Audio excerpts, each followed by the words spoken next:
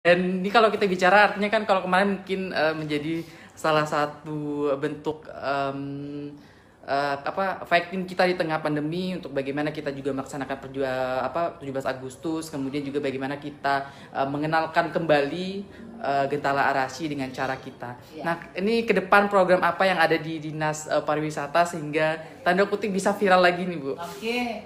Uh, kami mohon doanya ini pariwisata lagi ada tugas berat saya tidak mengatakan beban hmm, tetapi hmm. tugas berat satu kita harus menyiapkan uh, dosir untuk uh, membaik uh, uh, untuk salah satu syarat yang diminta UNESCO karena kita uh, apa ya geopark uh, nasional Merangin Jambi di tahun 2021 ini mewakili Indonesia masuk ke UGG atau UNESCO Global Geopark itu bersama dengan um, um, geopark dari uh, Raja Ampat. Jadi ada dua saat ini. Nah, ketika dua, artinya kita sudah mewakili Indonesia loh, yeah. negara loh. Bukan lagi kita bicara Merangin mm -hmm. atau bicara Jambi, Betul. tapi kita udah bicara Indonesia mm. masuk ke UNESCO. Nah, uh, untuk itu ada beberapa syarat yang harus dipenuhi. Salah satunya adalah pengisian data-data dukung atau dosir. Nah, hmm. sekarang tim sedang bekerja. Memang kita dibantu oleh tim ahli dosir yang kita ambil dari Jakarta dan Malang karena hmm. beliau kita anggap mumpuni dan dulunya menyiapkan dosir untuk uh, uh, apa ya? Um, geopaknya di Maros Pangkep. Jadi kita hmm. mencoba beliau bisa membantu kita juga gitu. Nah, dengan dengan dengan beberapa orang dosen kerja. Jadi sekarang tim sedang kerja, kemudian untuk mendampingi itu pada saat nanti asesor datang di November, kami juga uh, membuat event bukan untuk menyambut asesor sebenarnya, hmm. tapi event kita lebih kepada membackup uh, geopark sendiri hmm. bahwa itu siap untuk menjadi UNESCO. Nanti pasti nanya ya apa sih gunanya geopark kalau yeah. masuk UNESCO gitu. Salah satu gunanya adalah satu bagaimana kita bisa uh, uh, membuat uh, apa ya uh, berkelanjutan hmm. tentang kearifan lokal, lingkungan, hmm. kemudian budaya dan semua dan itu salah satu potensi nilai gunanya salah satu adalah untuk pariwisata. Jadi ketika kita berharap nih kami mohon doanya itu bisa masuk ke dalam UNESCO, paling tidak mata dunia menoleh kepada kita. Merangin menjadi pertanyaan eh, ini kapan di Merangin uh, itu uh, festival ini Bu? Tanggal 17 November. 17 November. Uh, festivalnya Geo Fundraising tanggal 17 September. Nanti kita tetap akan melibatkan merang, apa ya Tribun membantu kami memfollow up ini. Harus itu. Ini, gitu, sehingga uh, masyarakat bisa tahu tentang eh kita nih punya geopark yang keren banget. Betul. Gitu. dan, dan menjadi dan menjawab nih geopark geopark itu apa sih sebenarnya ah, taman bumi. Ya.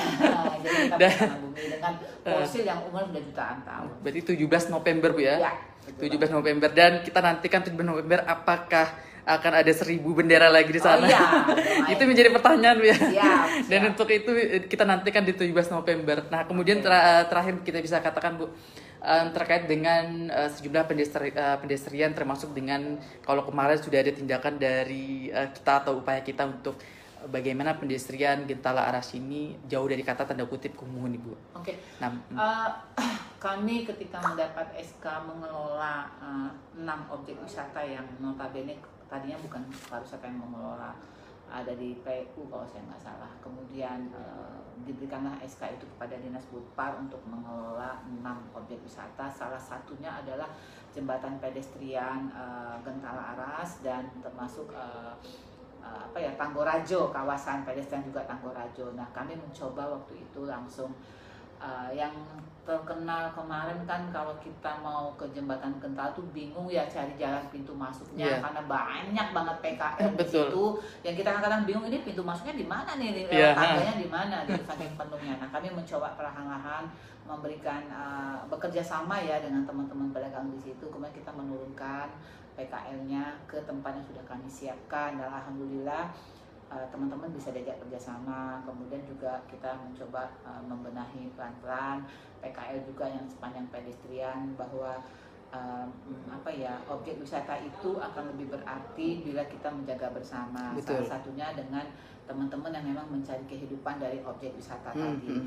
Kalaulah kita bisa bekerja sama dengan baik, sama-sama menjaga ketertiban, terutama kemudian yang paling penting itu kebersihan sehingga nggak ada kesan kumuh. Hmm. Tentunya orang datang tuh berkunjung, makan jagung bakar, tempatnya bersih. Terima kasih Ibu atas waktunya Ibu. Sehat-sehat terus untuk uh, Ibu dan seluruh uh, Dispurpar uh, yang ada di Jambi. Semangat Amin. untuk uh, berjuang melestarikan dan Siap. memperkenalkan pariwisata Jambi. Amin. Oke, demikian Tribunnya saya Samsul Bari bersama Ibu Kadis uh, provinsi Jambi. Ya.